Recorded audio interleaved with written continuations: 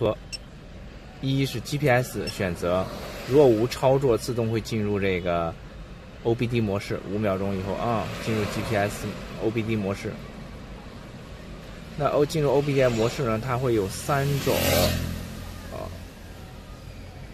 好，已经进入画面。那么它有三种简洁模式啊，只有显示车速啊，嗯，车速加装饰条，很漂亮的装饰条啊，车速加转速，车速加装饰条加转速哈，我们看看它的效果。